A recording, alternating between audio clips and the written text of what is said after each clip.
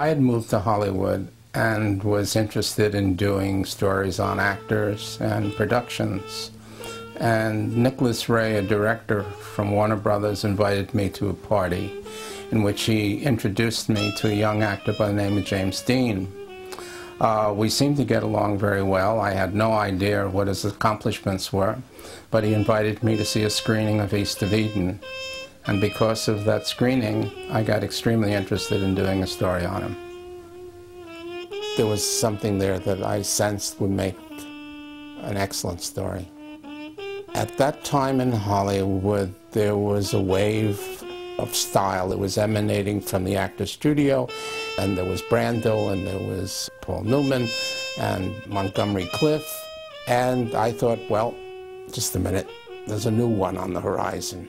And I explained to him what I wanted to do, and it was to go back to Indiana, where he came from, spend time there, go back to New York, spend time there, and come back to Hollywood because the next film he was going to make was with, interestingly enough, Nicholas Ray. And we eventually set a schedule and itinerary, and we went off to Indiana. And it was a very memorable experience for me, uh, very touching.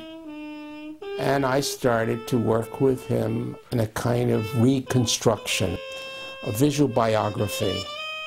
Dean wasn't famous as yet. He was on the cusp. He liked photography. He was kind of amused by it.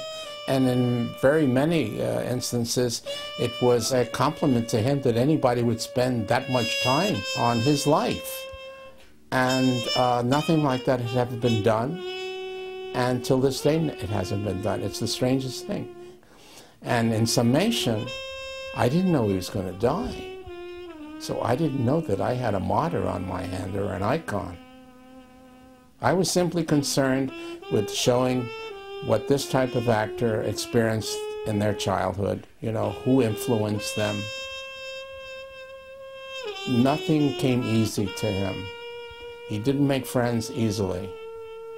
He just simply needed to push the envelope as far as he could in a relationship. And I was tenacious. I was in many ways equal to his temperament, and it worked out.